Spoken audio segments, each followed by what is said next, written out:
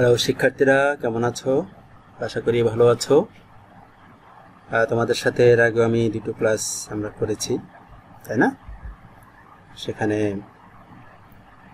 আমরা যে বিষয়গুলি নিয়ে কথা বলেছি তারই ধারাবাহিকতায় ক্লাস নাইনের হিসাব বিজ্ঞানটা আজকে আমরা দেখব। আমি তুষার স্যার। আজকের পাঠ আমাদের সেই আগের মতো। ষষ্ঠ অধ্যায় জাবেদা। ঠিক আছে? তো আমরা যাই। এখানে আমি এর আগে ক্লাসেও দেখিয়েছিলাম যে এই জাবেদার থেকে তোমাদের কি ধরনের প্রশ্ন আসতে পারে। সেটা প্রতিবারে আমি একটু মনে করিয়ে দেওয়ার চেষ্টা করি, কেননা চ্যাপ্টারটা যেহেতু জাবেদার এবং এটা যখনই আলোচনায় আসবে, তখনই এই জাবেদার থেকে কি ধরনের প্রশ্ন তোমাদের আসতে পারে সেটা তোমাদেরকে জাস্ট পূর্ব জ্ঞান যাচাইয়ের জন্য বা পূর্ব ধারণাটা দেওয়ার জন্যই আসলে মনে করিয়ে দেওয়া। ঠিক আছে? তো একইভাবে আমি আজকেও মনে করে দিচ্ছি যে কেমন প্রশ্ন এই চ্যাপ্টার থেকে আসতে পারে যে লেনদেনগুলোর জাবেদা দাখিটা দেখাও, ক্রয় জাবেদা নির্ণয় করো, বিক্রয় জাবেদা নির্ণয় করো, ক্রয় ফেরত জাবেদা নির্ণয় করো, বিক্রয় ফেরত জাবেদা নির্ণয় করো, কারবারি বাট্টার পরিমাণ নির্ণয় করো, নগদ বাট্টার পরিমাণ নির্ণয় করো। ঠিক আছে? তো এছাড়াও যে সমস্ত প্রশ্ন এগুলোর সাথে জুড়ে দেওয়া যায় মানে অর্থাৎ কতে ওটা থাকল খ গতে কি ধরনের প্রশ্ন থাকবে বা খ গতে ও ধরনের প্রশ্নগুলো দেওয়া থাকবে প্রথম প্রশ্নগুলো। কতে কি ধরনের প্রশ্ন আসতে পারে বা অনেক সময় খ গতে প্রশ্ন আসতে পারে। তোমাদেরকে আগেও বলেছি যে অ্যাকাউন্টিং এর বা হিসাব বিজ্ঞানের তিনটি প্রশ্নই কিন্তু মূলত প্রয়োগমূলক। এখানে কোনো জ্ঞানমূলক, অনুধাবনমূলক নেই। সবগুলোই প্রয়োগমূলক। একদম পুরো একটা ম্যাথ পুরো একটা গণিত। গণিতের প্রশ্ন তোমরা যে আনসার করো, ঠিক সেরকমই তিনটাই প্রয়োগমূলক। তো তিনটা প্রশ্নে, তিনটা প্রশ্নেই তোমার সেরকম থাকতে পারে। অর্থাৎ জাবেদার সাথে লিঙ্ক অন্যান্য চ্যাপ্টার যেগুলো আছে, সেগুলোর সাথেও কয়েকটা প্রশ্ন থাকতে পারে। যেমন, মালিকানা সত্যের পরিমাণ নির্ণয় করো। মোট মূলধনের পরিমাণ নির্ণয় করো। ডেবিট নোট তৈরি করো ক্রেডিট নোট তৈরি করো। ডেবিট ভাউচার ক্রেডিট ভাউচার চালান ক্যাশ মেমো মোট ক্রয়, মোট বিক্রয়। এই ধরনের প্রশ্নগুলো কতেও আসতে পারে কতেও আসতে পারে, আবার গতেও আসতে পারে। তো অধিকাংশ ক্ষেত্রে কতে তোমরা এই ধরনের প্রশ্ন পাবে। বিশেষ করে জাবেদার থেকে। ক এবং খতে ঠিক আছে? যাই হোক, তো এই প্রশ্নগুলো তোমরা যে অধ্যায়গুলো থেকে পাবে প্রশ্নের উত্তরগুলো, সেগুলো তোমরা জানো। আগেও দেখিয়েছিলাম আমি, অধ্যায় দুই এবং অধ্যায় পাঁচ। এই দুটো অধ্যায় দেখলে এই ধরনের প্রশ্নগুলোর উত্তর কেবল লিখতে হয় সেটা জেনে যাবে। এবং সেগুলো আমরা অলরেডি আলোচনা করেছি। তাই তো? আচ্ছা। আজকের কাজ হিসেবে আমরা যাব তাইলে জাবেদায় জাবেদার ঘর এবং ছক আমি দেখাচ্ছি, যে জাবেদা দুই হাজার উনিশ সালের একত্রিশ জানুয়ারি সমাপ্ত মাসের জন্য। এটা জাবেদার ছক দেখাচ্ছি, এখানে তারিখ, বিবরণ হ্যাঁ খতেন পৃষ্ঠা, ডেবিট টাকা, ক্রেডিট টাকা। তারিখে যে যে মাসের অঙ্ক বা যে সালের অঙ্ক, সে সাল, সে তারিখ দিলাম। বিবরণে ব্যাংক হিসাব, ডেবিট, নগদ হিসাব, ক্রেডিট, একটা জাস্ট বিবরণ দিয়ে দিলাম। বিবরণের মধ্যে ডেবিটকে নির্ণয় করে দিলাম হিসাবগুলোর। এখানে আরেকটা বিষয় থাকতে পারে, সেটা হচ্ছে ব্যাখ্যা। হ্যাঁ অর্থাৎ এই লেনদেনটা কীভাবে হয়েছে, তার একটা ব্যাখ্যা, ছোট একটা ব্যাখ্যা এখানে দেওয়া যেতে পারে। অবশ্য না দিলেও তেমন সমস্যা নেই, তবে এরকম তো আসলে ব্যাপারটা এরকম না যে সব খাতা তো আর আমি কাটবো না বা সব খাতা একই ধরনের, একই রকম টিচার কাটবেন না। বিভিন্ন মন মানসিকতার টিচারও রয়েছেন, অনেকে মনে করেন যে না, ব্যাখ্যাটা না দিলে বোধ হয় একদম মানাবেই না। আর অনেকে মনে করেন, না, ব্যাখ্যা দেওয়ার দরকারটা কি? সে ব্যাখ্যাটা না বুঝলে অর্থাৎ সে যদি লেনদেনটা না বুঝে সে এই জাবাদাটা করল কি করে? এটা অনেকেই মনে করে, আমি সেটাই মনে করি। আমরাও দিয়ে এসেছিলাম, আমরাও ব্যাখ্যা দিয়ে এসেছিলাম। যাই হোক যারা পারো বা সময় থাকলে বা ইয়া থাকলে তোমার দেখাটা দিতে পারো। খতেন পৃষ্ঠা ডেবিট টাকা ক্রেডিট টাকা ডেবিট এবং ক্রেডিট পাশের টাকার যোগফল অবশ্যই এখানে কি হতে হবে? সমান হতে হবে। এটা মিলবে, স্বাভাবিক। তার আগে আমরা যে গতবার যে বাড়ির কাজটা দিয়েছিলাম যে জাবেদাগুলো আমি দিয়েছিলাম গতবার, সেই জাবেদাগুলো নিয়ে একটু আলোচনা করব। অনেক হয়তো করেছ। আর যারা করনি তারা আজকে এই পার্টটা দেখে সেটার উত্তরগুলো সঠিক করে নিতে পারো, অথবা যারা করেছ, তারা তাদের সূত্রগুলোর সাথে মিলে দেখতে পারো। সরি গতবার প্রশ্নটা ছিল যে সচিন কর্মকার একজন ব্যবসায়ী, দুই হাজার সতেরো সালের এপ্রিল মাসে তার ব্যবসায় নির্মুক্ত লেনদেন সমূহ সংগঠিত হয়েছিল। এপ্রিল এক তারিখে হয়েছিল দেনাদার হতে চেক প্রাপ্তি, যার সঙ্গে সঙ্গে ব্যাংকে জমা দেন আট হাজার টাকা। সঙ্গে সঙ্গে ব্যাংকে জমা দেওয়া হোক বা না হোক চেক পাওয়া গেলেই একই হিসাব ব্যাংক হিসাব ডেবিট দেনাদার হিসাব ক্রেডিট তার মানে সম্পত্তি বেড়েছে, আমার সম্পদও কমেছে। সম্পদ কমেছে কি হিসেবে? দেনাদাররা কিন্তু আমাদের সম্পদ, তাদের কাছ থেকে আমরা টাকা পাবো। তো আমরা তার কাছ থেকে টাকা পেয়ে কিছু সুতরাং সে আমার কমে গেল না, তার কাছ থেকে আমি ভবিষ্যতে টাকা পাবো না। তাহলে সেটাও আমার একটা সম্পদ। তাহলে সম্পদ বাড়লে ডেবিট হয়, আবার কমলেও ক্রেডিট হয়। তাহলে দুটোই, যেটা বেড়েছে সেটা ডেবিট যেটা কমেছে সেটা ক্রেডিট একদম শর্টকাট সহজ নিয়মটা যেটা দিয়েছিলাম সেটাই আমি দেখাচ্ছি। মারফের নিকট থেকে ঋণ গ্রহণ। ঋণ গ্রহণ করলে কি হতে পারে? ঋণ গ্রহণ করলে আমার কাছে টাকা আসবে, নগদ টাকা আসবে, সেক্ষেত্রে নগদ ডেবিট সম্পত্তি বেড়েছে। আবার আমি যে মারফের কাছ থেকে যে ঋণ গ্রহণ করছি সেটা আমার দায়, দায়ও বেড়েছে। দায় বাড়লে কি হয়? ক্রেডিট হয়। আয়, দায়, লাভ এগুলো বাড়লে ক্রেডিট সেক্ষেত্রে মারুফের ঋণ হিসাবটা ক্রেডিট হলো। আনতে ফেরত কারণটা এখানে একটু ভুল হয়েছে। আনতে ফেরত, এটা কম্পিউটারের সমস্যা। আনতে ফেরত পাঁচশো টাকা। আনতে ফেরত মানে কি ফেরত? যেটা ভিতরে ফেরত আসে, অর্থাৎ আমি যে বিক্রয় করলাম, সেই বিক্রয়টা ফেরত আসলো। সে আনতে ফেরত পাঁচশো টাকা যদি হয়ে থাকে, বিক্রয় ফেরত, বিক্রয় সবসময় ক্রেডিট হয়, সুতরাং বিক্রয় ফেরত ডেবিট বিক্রয় ফেরত হচ্ছে, বিক্রয় করলে আমার আয় বাড়ে। ঠিক না? এখানে সে আয়টা কমেছে। আয় কমলে কি হয়? ডেবিট হয়। আয় বাড়লে যদি ক্রেডিট হয়, তাহলে আয় বাড়লে, আয় কমলে ক্রেডিট হয় ডেবিট হয়। আয় বাড়লে ক্রেডিট সুতরাং আয় কমলে ডেবিট আর দানাদার হিসাব ক্রেডিট হয়, দানাদার মানে এখানে আমার যেহেতু কারও কাছ থেকে নাম নেই, কোনো কোম্পানির নাম নেই, কোনো ব্যক্তির নাম নেই, আমরা সরাসরি দিয়ে দেবো দানাদার হিসাব ক্রেডিট ওকে পুরাতন আসবাবপত্র বিক্রয় দু হাজার টাকা। এখানে আমার ক্যাশ টাকা এসছে? নগদান হিসেবে ডেবিট। আর আসবাবপত্র আমার একটা সম্পদ, সেটাও কমে গেছে। অর্থাৎ সম্পত্তি বেড়েছে, আবার সম্পত্তি কমে গেল। এই পয়সা এপ্রিল দশ তেনাদারের এক হাজার টাকা আদায়যোগ্য নয়। তেনাদারের এক হাজার টাকা আদায়যোগ্য নয়। অর্থাৎ অনাদায় দানা, সঞ্চিত হিসাব ডেবিট দানাদের হিসাব ক্রেডিট। অর্থাৎ আমার দানাদার কমে গেল, সেজন্য আমি ক্রেডিট বানালাম। সম্পত্তি কমে গেল। এবং আমার একটা দায় খেয়াল করে এখানে, আমি একটা দায়ের মধ্যে টাকা ঢুকিয়ে ফেলছি। অনাদির দানার সঞ্চিতি, সঞ্চিতির মধ্যে আমি টাকাটা ঢুকাই দিচ্ছি যেহেতু। হ্যাঁ? আমার টাকাটা সঞ্চিতের মধ্যে ঢুকে যাচ্ছে। সেক্ষেত্রে আমি সঞ্চিতিতে পাঠিয়ে দেব। অর্থাৎ এই সঞ্চিতি যা যতক্ষণ পর্যন্ত আমার মানে এটা, এই যে এই যে দানাদার এত টাকা যে আদাযোগ্য নয়, আমি যে দানাদার কাছ থেকে যে টাকাটা পাবো না, এই ক্ষতিটা পোষানোর জন্য আমি আগেই কিন্তু অনাদায়ী দানা সঞ্চিতি নামে একটা অ্যাকাউন্ট করে রেখেছিলাম। যেটা আমার দায় হিসেবে ছিল। দায় বাড়লে ক্রেডিট হয়। এখন সেই দায়টা আমার কমছে। সেজন্য এই অনাদায়ী দানের সঞ্চিত হিসাবটা ডেবিট হচ্ছে, দায় কমলে ডেবিট হয়। ঠিক আছে? এই বিষয়ে আমরা পরবর্তীতে আরেকটু আলোচনা করব। এটা একটু কনফিউশন তোমাদের লাগতে পারে। এটা আমি আবার পরবর্তীতে আলোচনা করব। ঠিক আছে? ব্যাংক কর্তৃক প্রদেবিলের অর্থ পরিশোধ তিন হাজার টাকা। ব্যাংক কর্তৃক প্রদেবের অর্থ পরিশোধ তিন হাজার টাকা। এখানে প্রদেবিলটা হচ্ছে একটা দায়। যেহেতু আমি প্রদয় বিল, অর্থাৎ যে বিলগুলো আমাকে প্রদান করতে হবে, শোধ করতে হবে, সেই প্রদয় বিলের টাকাটা ব্যাংক দিয়ে দিয়েছে। অর্থাৎ আমার ব্যাংক থেকে এটা শোধ হয়ে গেছে। তাহলে আমার ব্যাংক কমে গেল। ব্যাংকের টাকা কমে গেছে। সোজা কথা, সম্পত্তি কমে গেলে ক্রেডিট হয়, সেহেতু ব্যাংক হিসাব ক্রেডিট হয়েছে। আর আমার এখানে প্রদয় বিলটা হচ্ছে আমার দায়। দায় বাড়লে ক্রেডিট দায় কমলে ডেবিট হয়। এখানে আমার দায় কমেছে। প্রদীপের অর্থটা শোধ হয়েছে, সেজন্য প্রদীপ হিসাব ডেবিট হয়েছে। অফিসের জন্য চেয়ার টেবিল ক্রয় সাত হাজার টাকা, আমার কাছ থেকে নগদ টাকা চলে গেছে, এক কথা শেষ। তোমাদের প্রতিটা জাবেদা করার সময় দেখতে হবে এখানে একটা লেনদেনের মধ্যে কোন কোন হিসাবগুলো জন্ম হয়েছে, তাই না? সেটা আমরা আগেই বলেছি। হিসাবের হিসাব এবং লেনদেন চলাকালীন সম্পর্কে যখন চলেছিল বা আলোচনা যখন হয়েছিল, তখন তোমাদের সেটি আমি বুঝিয়েছিলাম যে একটি লেনদেন হওয়ার পরে সেটা যদি, একটি ঘটনা হওয়ার পরে সেটা যদি লেনদেন হয়, সেই লেনদেনটার মধ্যে দুটো হিসাব অবশ্যই থাকতে হবে। দুটো পক্ষ থাকতে হবে, ওই পক্ষ দুটো আগে ব্যয় করে নিতে হবে। আমি যে অফিসের জন্য চেয়ার টেবিল কিনছি, সেখানে এখানেও কিন্তু দুটি পক্ষ রয়েছে। একটা হচ্ছে আমার ক্যাশ টাকা, নগদ টাকা চলে গিয়েছে। আটটা হচ্ছে অফিসের জন্য চেয়ার টেবিল যেটা আমার আসবাবপত্র হিসেবে গৃহীত হবে আমার সম্পদ হিসেবে। তাহলে একটা আসবাবপত্র আরটা হচ্ছে নগদ। আমার আসবাবপত্র বেড়েছে, সম্পত্তি বেড়েছে, আবার সম্পত্তি কমেছে। সম্পত্তি বলে ডেবিট যেটা বেড়েছে, আর যেটা কমেছে, সেটা কেন বিনিয়োগের সুদ আদায় হলো এক হাজার টাকা। বিনিয়োগের সুদ, আমার কাছে নগদ টাকা এসছে, সুতরাং নগদ ডেবিট এবং বিনিয়োগের সুদ হিসাব ক্রেডিট। ঠিক আছে? কমিশন অনাদায়ী ছয়শো টাকা। অনাদায়ী বলতে বকেয়া, অর্থাৎ আমি কমিশন পাওয়ার কথা আমার, কিন্তু এখনও পাইনি। টাকাটা আমার এখনও অর্জিত হয়নি। কমিশন অনাদায়ী হচ্ছে ছয়শো টাকা, অর্থাৎ যে কমিশন আমি এখনও পাইনি তা আমার প্রাপ্য কমিশন বা অনাদায়ী কমিশন হিসেবে ডেবিট আমার সম্পদ সম্পদ বাড়লে ডেবিট হয়। আবার কমিশন অনাদায়ী, এই কমিশনটা কি? এই কমিশনটা হচ্ছে আমার আয়। এখানে এটা আয় আয় বেড়েছে। আয় বাড়লে ক্রেডিট হয়। সম্পত্তি বাড়লে ডেবিট হয়, আয় বাড়লে ক্রেডিট হয়। সেজন্য প্রাপ্য কমিশন ডেবিট কমিশন হিসাব ক্রেডিট হবে।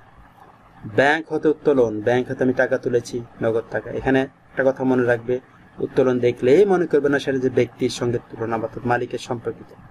ঠিক আছে? মালিক কর্তৃক বিষয়টা আমরা পরবর্তীতে আবার আলোচনা করব। তার আগে আমি একটু যেটা দিয়েছি সেটা আলোচনা করে নিই। ব্যাংক হতে উত্তোলন হচ্ছে চার হাজার টাকা। ব্যাংক হতে যদি উত্তোলন করা হয়, আমার ব্যাংক এবং নগদ দুটোই এসছে। ব্যাংকে আমার, অর্থাৎ দুটো হিসাবে এখানে জন্ম হয়েছে, একটা হচ্ছে ব্যাংক আরটা হচ্ছে নগদান। তাহলে ব্যাংকে টাকা কমে গিয়েছে এবং নগদে টাকা বেড়ে গিয়েছে। তাহলে নগদান হিসাব ডেবিট যেটা বেড়েছে, আর যেটা কমেছে সেটা হিসাব ক্রেডিট। সম্পত্তি বেড়েছে, সম্পত্তি কমেছে। ওকে? পাওনাদারকে চাকরি পরিশোধ ছয় হাজার পাঁচশো টাকা এবং বাট্টা প্রার্থী পাঁচশো টাকা। এখানে আমি পাওনাদারকে দিয়েছি ছয় হাজার পাঁচশো টাকা। সুতরাং আমার নগদ টাকা চলে গিয়েছে ছয় হাজার পাঁচশো টাকা। আর বাট্টা প্রাপ্তি হয়েছে আমার পাঁচশো টাকা। ঠিক আছে? অর্থাৎ পাওনাদার ছিল, তাহলে আসলে টোটাল আমার পাওনাদার ছিল কত টাকা? টোটাল আমার পাওনাদার ছিল কিন্তু সাত হাজার টাকা ছয় হাজার পাঁচশো টাকা। আর এই যেটা বাট্টা বাট্টা অর্থাৎ যেটা আমাকে ছাড় দিয়েছে ডিসকাউন্ট দিয়েছে ক্যাশ ডিসকাউন্ট সেটা মিলে টোটাল হচ্ছে সাত হাজার টাকা। অর্থাৎ পাওনাদার আমার কাছ থেকে পেতো সাত হাজার টাকা, তাকে আমি দিয়েছি ছয় হাজার পাঁচশো টাকা, এবং সে আমাকে ছাড় দিয়েছে পাঁচশো টাকা। তাহলে টোটাল পাওনাদার হচ্ছে কিন্তু সাত হাজার টাকা, সেজন্য পাওনাদার ডেবিট পাওনাদার কমতেছে। পাওনাদার হচ্ছে দায় দায় বাড়লে ক্রেডিট হয় কমলে ডেবিট হয়। তাহলে এখানে পাওনাদার কমছে, অর্থাৎ দায় কমছে, দায় কমলে ডেবিট হয়, সুতরাং পাওনাদার ডেবিট কত টাকা হবে? সাত হাজার টাকা। এটা কিন্তু মাথায় রাখতে হবে। কেননা ব্যাংক হিসাব হচ্ছে ক্রেডিট ব্যাংকে যাবে ছয় হাজার পাঁচশো, আর বাট্টা হিসাব হচ্ছে ক্রেডিট বাট্টা যাবে পাঁচশো। তাহলে এই দুটো হিসাব হচ্ছে ক্রেডিট এই দুটো ক্রেডিট যোগ করা হচ্ছে ছয় হাজার পাঁচশো আর পাঁচশো মিলে সাত হাজার টাকা। টোটাল পাওনাদার সাত হাজার টাকা। ক্লিয়ার ওকে এরপর আসো, এপ্রিলের তিরিশ তারিখে আসবাবপত্রের উপর অবচয় ধার্য করো। আটশো টাকা। আসবাবপত্রের উপর অবচয় ধার্য করা হলো আটশো টাকা। এটা বইয়েও দেওয়া আছে যাবাতাটা সেটা দেখে নেবে। যে অবচয় সব ডেবিট অবচয় হচ্ছে একটা খরচ। খরচ বাড়লে ডেবিট হয়, ক্ষতি হলে ডেবিট হয়। ক্ষতি বাড়লে বা খরচ বাড়লে ডেবিট হয়, সেজন্য অবচয় সব ডেবিট অবচয় অপচয় না কিন্তু অবচয় ডিপ্রিসিয়েশন এখানে অপচয়ের কথা বলা অবচয়ের কথা বলা হচ্ছে। আর অপচয় হচ্ছে ওয়েস্ট ওয়েস্টিং সুতরাং ডিপ্রিসিয়েশনটা হচ্ছে এখানে অতটা অবচয় আর ব্যাপারটার উপর অবচয়ের ব্যাপারটা আমি এখানে বুঝিয়েছিলাম তোমাদের ইয়াতে ক্লাসে বুঝিয়েছিলাম। তারপরে পরবর্তীতে আবার সুযোগ হলে সেটা ডিটেলস বোঝাবো। অবচয় হিসাব ডেবিট আরটা হচ্ছে পুঞ্জীভূত অবচয় হিসাব ক্রেডিট পুঞ্জীভূত অবচয় হিসাব ক্রেডিট এটা একটা সঞ্চিতির মতো রেখে দিতে হয় একসাথে। তো আমরা শেখা, সেটা পরবর্তী আসবাবপত্র থেকে বাদ দিয়ে সে টাকাটা আমরা হিসাব করে থাকি যে কত টাকা আসলে আসবাবপত্রটা মূল দাম। ঠিক আছে? এই ছিল তোমাদের বাড়ির কাজটা, যেটা আমি বাড়ির কাজ দিয়েছিলাম, সেটা আমি আলোচনা করলাম। আমরা আজকে যে বিষয়টা নিয়ে আলোচনা করব, সেটা হচ্ছে মূলত ক্রয় জাবেদা এবং বিক্রয় জাবেদা। ক্রয় জাবেদা, বিক্রয় জাবেদা নিয়ে আমরা আলোচনা করব, যেটা জাবেদার একটা প্রধান অংশ। ঠিক আছে? এগুলো জাস্ট ল্যাজ হিসেবে দেওয়া থাকে। হ্যাঁ ল্যাজ হিসেবে বলতে যে ক, খ গতে কতে দিল জাবেদা, খ গতে একটা ক্রয়, একটা বিক্রয় জাবেদা দিয়ে দিল। এরকম ল্যাজ হিসেবে থাকবে সেহেতু, এটা জানার দরকার আছে। ক্রয় জাবেদা এবং বিক্রয় জাবেদা কি, সেটা আগে আমরা একটু জেনে নিই। ক্রয় জাবেদা হচ্ছে বিক্রয়ের উদ্দেশ্যে প্রতিষ্ঠান যা ক্রয় করে তাই পণ্য। আর পণ্য নগদ বা বাকি উভয়ভাবে ক্রয় করা হতে পারে। শুধুমাত্র বাকিতে ক্রয়কৃত পণ্যই ক্রয় জাবেদা লিপিবদ্ধ হয়। কি, বুঝতে পেরেছ? বিক্রয় উদ্দেশ্যে যে আমরা প্রতিষ্ঠান যে পণ্যগুলো কিনি, সেটা নগদ এবং বাকি দুটোভাবে কেনা হতে পারে। কিন্তু শুধুমাত্র ওখান থেকে বাকিতে যে পণ্যগুলো ক্রয় করা হয়, সেগুলোই ক্রয় জাবেদায় সরি লিপিবদ্ধ করা হয়। আর ক্রয় জাবেদা প্রস্তুত করা হয় কিন্তু চালানোর উপর ভিত্তি করে। চালানো যেটা থাকবে, সে তথ্যের উপর ভিত্তি করেই কিন্তু ক্রয় প্রস্তুত করা হয়ে থাকে। তাহলে ক্রয় মূল বিষয়বস্তু বা মূল দলিল হচ্ছে অ্যাকচুয়ালি চালান। আবার শুধুমাত্র বাকিতে বিক্রিকৃত পণ্যই কিন্তু বিক্রয় জাবেদা লিপিবদ্ধ হয়। এখানে নগদে যে পণ্যগুলো আমরা বিক্রি করি, সে পণ্যগুলো হিসাবগুলো কিন্তু বা লেনদেনগুলো কিন্তু আমরা বিক্রয় জাবেদা লিখতে পারব না। শুধুমাত্র বাকিতে যে পণ্যগুলো বিক্রয় হবে, সেটাই আমরা লিখব। যেমন তুমি যদি দোকানে যাও কোথাও গেলে, কোনো একটা খুচরা দোকানে গেলে, তুমি যদি একটা টুথপেস্ট কিনে নিয়ে আসো, একশো টাকা দামে একটা টুথপেস্ট তুমি একশো টাকা দিয়ে টুথপেস্টটা কিনে নিয়ে আসলে সে কি তোমাকে জিজ্ঞেস করবে, ভাই, তোমার নাম কি? অবশ্যই না। কেননা সে তোমাকে পণ্য দিয়েছে, তুমি তাকে নগদ শোধ করে দিয়েছে, সুতরাং তোমার পরিচয় পাওয়ার এখানে কোনো প্রয়োজন বা নেওয়ার কোনো প্রয়োজন নেই। কিন্তু যখন তুমি বাকি আনবে ওর কাছ থেকে, তখন কিন্তু তোমার নামের প্রয়োজন তার অবশ্যই আছে। যে তোমার নাম কি? তোমার নাম অমুক। সে করবে কি? তার খাতায় অমুকের নাম লিখে, অর্থাৎ তোমার নামটা লিখে একশো টাকা যে বাকি দিয়েছে সেটা লিখে রাখবে। তাই না? তাই সেজন্যই বাকি যে বিক্রিগত পণ্যগুলোই আমরা বিক্রি যাবে জাবেদায় লিপিবদ্ধ করব, যাতে করে পরবর্তীতে আমরা জানতে পারি যে কত টাকার পণ্য আমরা কি করেছি।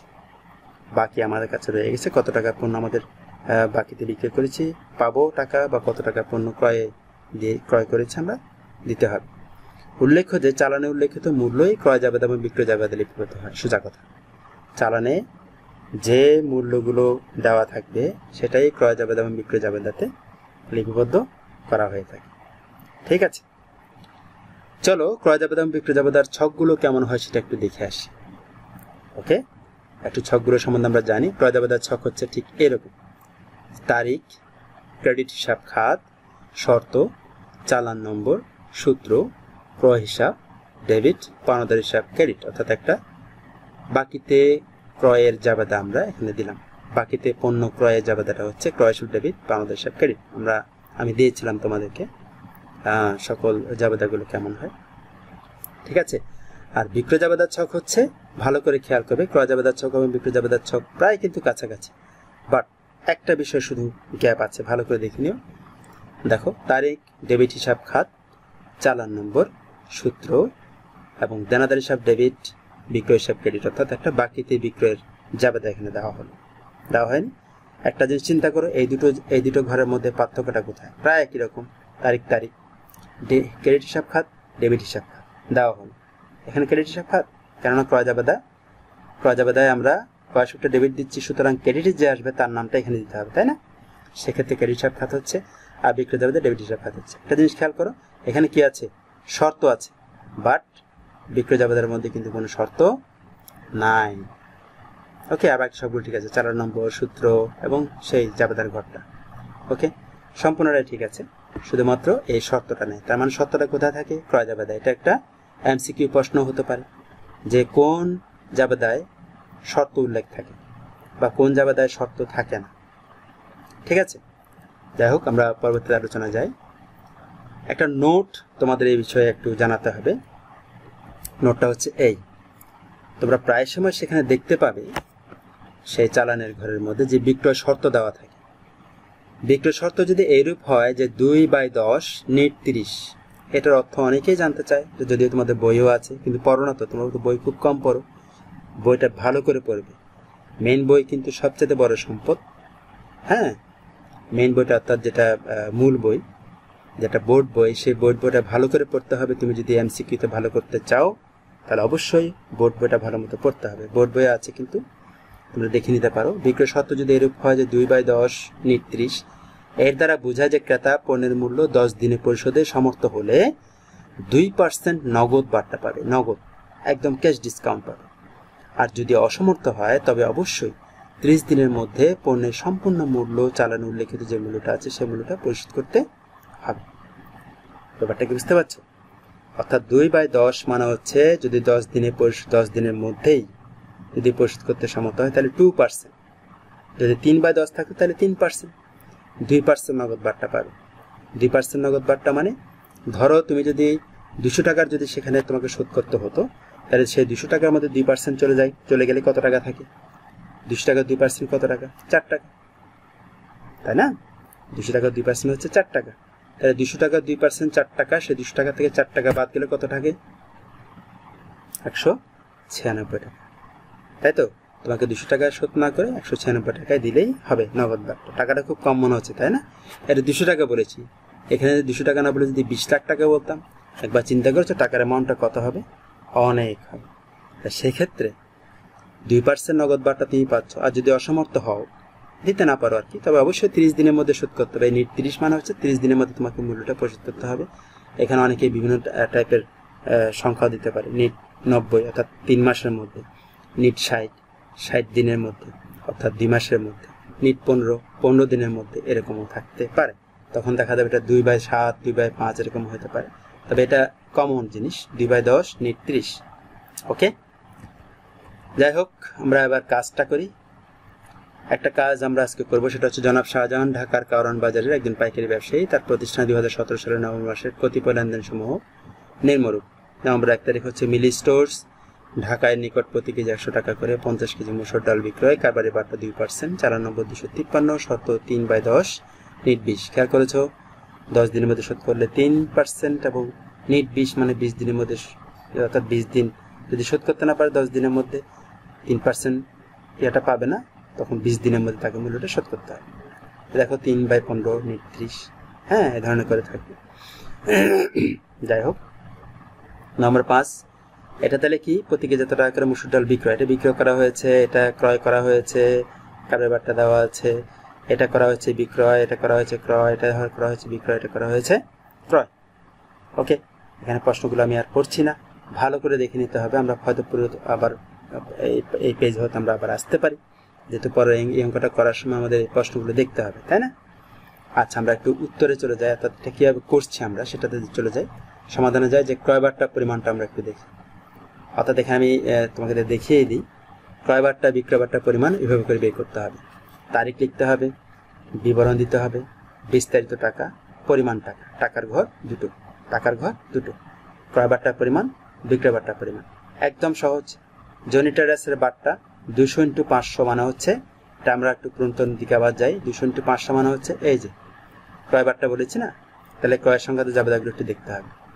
এই ক্রয় জাবেদার দুশো টাকা করে দুশো পাউন্ড, দুশো টাকা করে পাঁচশো পাউন্ড, এবং এটা হচ্ছে একশো বিশ টাকা করে তিনশো লিটার, অর্থাৎ প্রতি লিটার একশো বিশ টাকা করে, প্রতি পাউন্ড দুশো টাকা করে, আর এখানে হচ্ছে প্রতি প্যাকেট তিনশো পঞ্চাশ টাকা করে পঞ্চাশ প্যাকেট।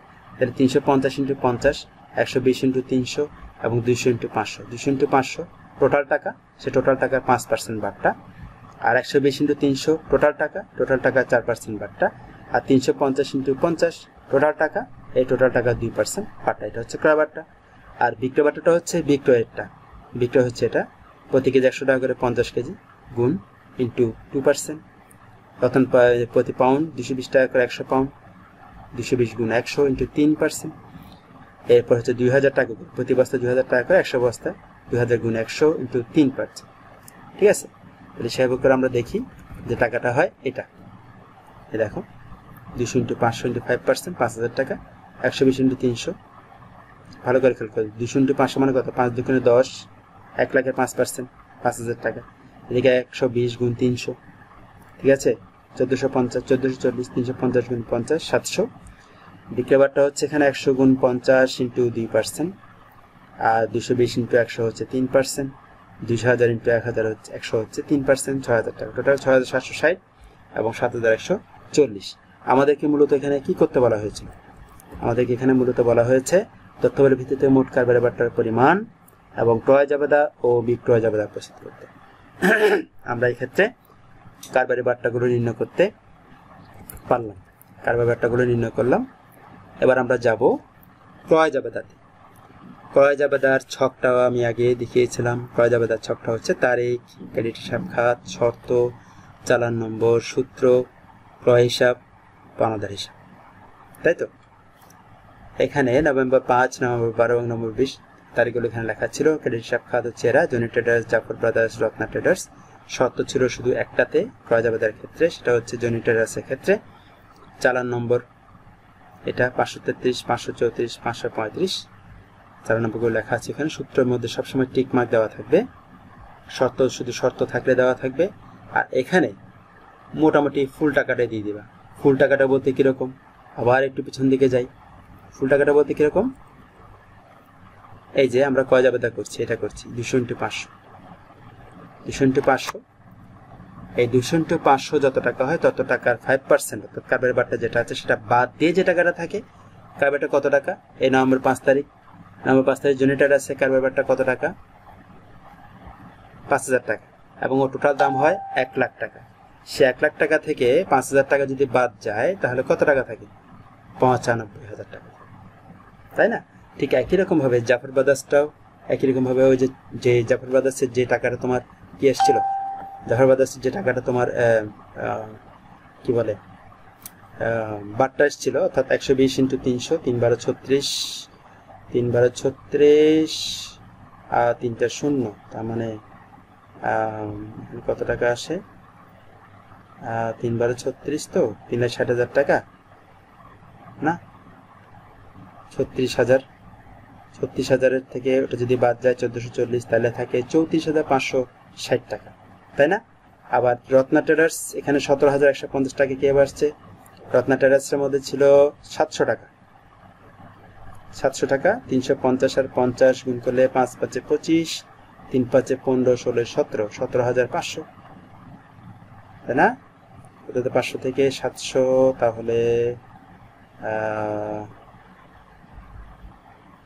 এখানে হচ্ছে পাঁচ পাঁচে পঁচিশ, পাঁচ, তিন পাঁচে পনেরো, ষোলো, সতেরো। হ্যাঁ রাইট সতেরো হাজার পাঁচশো, তার মধ্যে থেকে সাতশো টাকা বাদ যাচ্ছে। সতেরো হাজার একশো পঞ্চাশ টাকা। তাই না? আচ্ছা এখানে একটা দেখি, আমি একটু দেখি। হয়তো বা হিসাবটা একটু ভুলও হতে পারে, আমি একটু ক্লিয়ারলি দেখি বিষয়টা। একশো বিশ ইন্টু তিনশো সরি একটু দেখি বিষয়টা। তিনশো পঞ্চাশ ইন্টু পঞ্চাশ। তিনশো পঞ্চাশ ইন্টু পঞ্চাশ হচ্ছে সতেরো হাজার পাঁচশো মাইনাস সাতশো। হিসাবটা ভুল হয়েছে, সেজন্য আমি আবার দেখছি। তিনশো তিনশো পঞ্চাশ ইন্টু পঞ্চাশ যেটা হচ্ছে এটা ইন্টু টু, হচ্ছে তিনশো পঞ্চাশ টাকা। এখানে তিনশো পঞ্চাশ টাকা হবে, আমি ভুলে সাতশো টাকা দিয়ে ফেলেছি, এটা তিনশো পঞ্চাশ টাকা হবে। ঠিক আছে? বুঝতে পারছ। এখানে টাকার গভর্নমেন্টে আমি গন্ডগোলটা হয়তো টের পেয়েছিলাম, সেজন্য তোমাদের বিষয়টা ধরলাম। এখানে সতেরো হাজার একশো পঞ্চাশ টাকা ঠিক আছে, ওটা হবে তিনশো পঞ্চাশ টাকা। ঠিক আছে? এই যে ভুলটা দেখো। যাই হোক, এবার দেখো বিক্রয় জাবেদা। বিক্রয় জাবেদা আমরা একটু দেখি। বিক্রয় জাবেদার মধ্যে ঠিক একই রকম। ওই যে বার্তাগুলো হচ্ছে, সে বার্তাগুলো থেকে চার হাজার যে টাকাটা থাকবে, সে টাকাটা বাদ দিয়ে টাকাটা, ঠিক একই রকম বার্তাগুলো থেকে যে টাকাটা বাদ যাবে, সে টাকাটা হচ্ছে এটা। এই যে বিক্রয় বার্তাগুলো একশো, ছয়শো ষাট এবং ছয় হাজার। এর সব বাদ দিয়ে যে টাকাটা থাকে, এখানে হচ্ছে পাঁচ হাজার পাঁচ হাজার থেকে একশো বাদ যাবে। তাহলে থাকবে চার হাজার নয়শো। ঠিক আছে? চার হাজার নয়শো টাকা। এবং এখানে একুশ হাজার তিনশো চল্লিশ, তাহলে হচ্ছে ছয়শো ষাট। দুশো বিশ ইন্টু একশো তিন পার্সেন্ট। ছয়শো ষাট টাকা আসছে। তার মানে কত?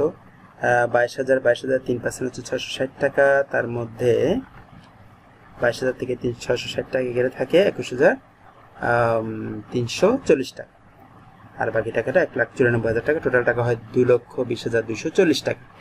তাহলে ক্রয় হিসাবের টোটাল টাকা হচ্ছে এটা, আর বিক্রির টোটাল টাকা হচ্ছে সরি বিক্রেতা দেবে টোটাল টাকা হচ্ছে এটা। একটা জিনিস মাথায় রাখবে, এই টোটাল টাকার নিচে অবশ্যই ডাবল ক্রস ক্রস লাইন দিতে হবে। ক্রস দাগ দিতে হবে ডাবল ক্রস বলতে ওই ক্রস না, দুটো দাগ দিতে হবে। তার ডাবল আন্ডারলাইন ডাবল আন্ডারলাইন করলেই এটা তোমার সম্পূর্ণ হয়ে যায়। তাহলে আজকে আমরা যেটা দেখলাম সেটা হচ্ছে এই বিষয়টার। এই কাজটা এর দেখলাম যে এখানে আমরা ক্রয় যাব, ক্রয় এবং বিক্রয়ের কিছু এন্ট্রি আছে এবং সেখান থেকে আমরা কাবারি বাট্টা এবং ক্রয় জাবেদা ও বিক্রয় জাবেদা তৈরি করলাম। এইখান থেকে তোমার এই যে প্রশ্নটা হয়তো এত বড় নাও থাকতে পারে, হয়তো দুটো বা তিনটে এন্ট্রি দেবে বা চারটা এন্ট্রি দেবে। সেখান থেকে বাট্টা বের করতে বলা হতে পারে, ক্রয় জাবেদা বিক্রয় জাবেদা করতে বলা হতে পারে। এবং ওই যে বললাম লাইনগুলো জুড়ে দেওয়া হ্যাঁ যে জুড়ে দেওয়া প্রশ্নগুলো, সেগুলোও থাকতে পারে। সেগুলোও তোমরা দেখবে ভালো মতো। ওকে কেননা দেখা যাবে তুমি ক আর খ পারছ, গ পারছ না। কেন? ওই যে জুড়ে দেওয়া প্রশ্নগুলো তোমাকে দিল, সেটা তুমি পারলে। সেজন্য জুড়ে দেওয়া প্রশ্নগুলো অবশ্যই ভালো করে দেখতে হবে। এটা হচ্ছে ক্রয়বারটা, বিক্রয়বারটা পরিমাণ এবং এগুলো হচ্ছে ক্রয় জাবেদা, বিক্রয় জাবেদার ছক।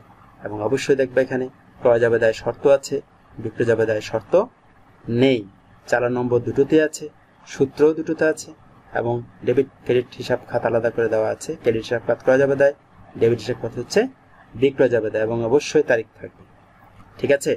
তাহলে এই ছিল আমাদের আজকে করা যাবে এবং বিক্রয় যাবে দা আলোচনাটা। আমি তোমাদের জন্য একটা বাড়ির কাজ দিচ্ছি। বাড়ির কাজটা হচ্ছে এটা। যে জনাব বাহাদুর দুই হাজার উনিশ সালের এক মে নগদ আশি হাজার টাকা, তিরিশ হাজার টাকার কম্পিউটার, বিশ হাজার টাকার আসবাবপত্র এবং বিশ হাজার টাকার ব্যাংক ঋণ নিয়ে কারবার আরম্ভ করেন। উক্ত মাসে তার লেনদেনগুলোর কয়েকটি নিম্নরূপ। দু হাজার উনিশ ইংরেজি মে দুই, পণ্য ক্রয় সাত হাজার টাকা। পাঁচ, লস্কর থেকে পণ্য ক্রয় দশ হাজার টাকা।